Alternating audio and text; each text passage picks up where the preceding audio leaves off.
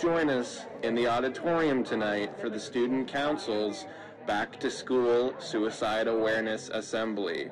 That's all for today. Xander? Hey, Meg. Did your phone break?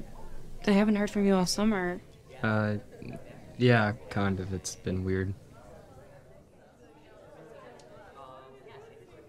So, I see you're the new class president.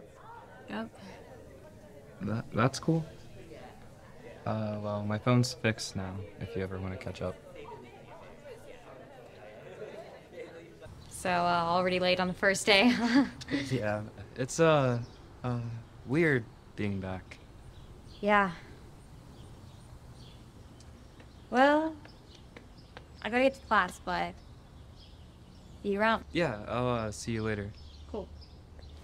If the only other person running this year is Bobby Vincent. Then it's over. You've already won. right? Thank you. First stop, junior class president. Next stop, the world. I can tell you've been hanging out with Tobin a lot recently. Yeah, uh, it's actually been pretty fun. You'd like him if you got to know him.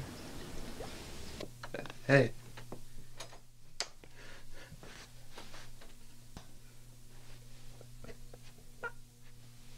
I know I've been really distant about everything. And um the last thing that I want you to think is I don't care about it. I just I think of that for a really long time.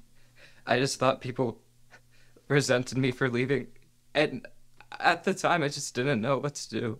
So I I left. And I know that it really hurt a lot of people in the process. And okay, what I'm trying to say is that I just Xander, I think that I I think I killed Tobin. you know that's not true. Tobin wrote this for you.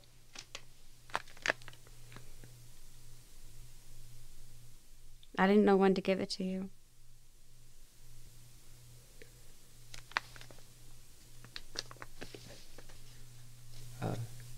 Thanks, Liz.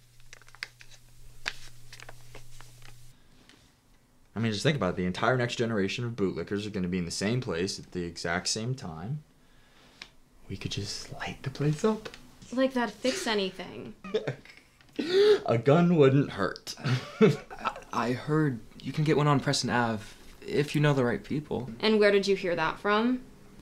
One of Solomon's friends mentioned it. This is why you shouldn't be hanging out with Solomon's friends. it's not my fault the kid has connections. Wait,